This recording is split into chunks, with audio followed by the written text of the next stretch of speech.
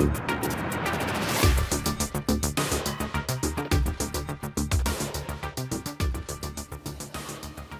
¿qué tal chavales? Aquí Fórmula 1 presentándoos un nuevo gameplay, un nuevo diario del desarrollador de Thirst Motion 2 y esta vez, como dijimos en el anterior, hablamos de los vehículos, aspecto básico en este juego en Cirrus Motion 1 que trata de los transportes. Pues bien, todos los transportes son modernos, el juego, no sé si lo dije en el primer episodio, se desarrolla en la época actual. Entonces hay cinco tipos y os digo que hay un tipo nuevo. Y comenzamos por el vehículo de menos a, mayor gama. Aquí estáis viendo los autobuses, ahí veis un autobús de dos pisos semejante a los de Londres, autobuses con menor capacidad, ahí veis otro, otro más pequeñito, menor capacidad, utiliza gente de clase baja, eh, son más baratos el mantenimiento, sin embargo utilizan combustible, que es más caro. Y aquí estáis viendo, por ejemplo, otro tipo de autobús en movimiento. Y como he dicho, todos los, los vehículos son modernos, ¿vale? No hay antiguos como había antes. Y bueno, como he dicho, son más baratos, pero eh, tiene menos capacidad y el combustible, el vehículo que gasta es más caro. En segundo lugar, los tranvías, ¿eh? lo estáis viendo, un tranvía muy bonito. Eh, circulan por los carril bus, como estáis viendo. Pueden circular tanto tranvías como buses y eso lo va a hacer un transporte bastante más rápido y ágil. Los tranvías van con electricidad, aunque si habéis visto la imagen anterior no se ve la catenaria igual es para que no se, para que se vea bien, para que se vea con claridad el juego.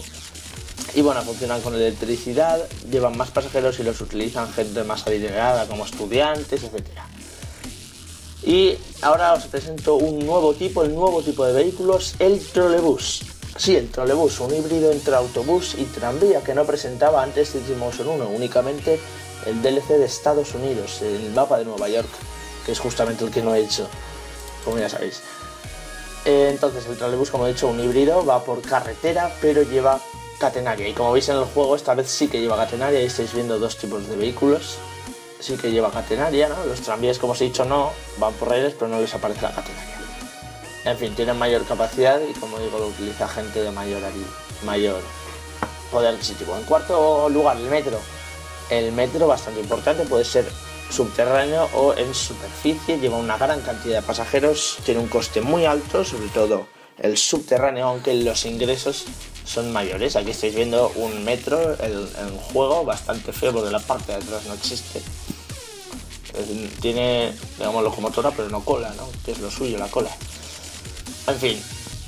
Y en último lugar, los barcos. Un aspecto que en Motion 1 estaba, un vehículo, pero que no era muy destacado, no se utilizaba mucho, ¿no? No era muy propicio. Entonces en Motion 2 se le ha querido dar mayor importancia, los mapas que se han hecho cuentan con varias islas y se les ha, intentado dar vida a los barcos, ¿no? Y bueno, echáis a faltar uno, los helicópteros, ¿no? Que salía en Motion 1 y que no está. Evidentemente los helicópteros la verdad es que era... Yo no conozco ninguna ciudad que haya helicópteros públicos de transporte. Entonces me ha parecido bien... Vamos, no me ha parecido mal que lo quitaran y que en su lugar pusieran el, el trolebús que es bastante más necesario.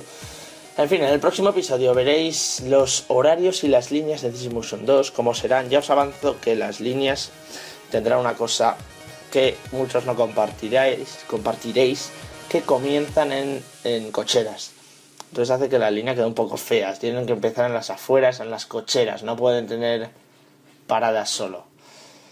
Entonces ya os lo explico en el gameplay próximo. Así que nada, chavales, un saludo. Adiós. Un tema muy importante, una nueva característica que va a gustar mucho a los usuarios de Digimotion 2. El modo multijugador. Un nuevo modo que traerá Digimotion 2. Y como destacaban los juegos de simulación, como este no es destacado,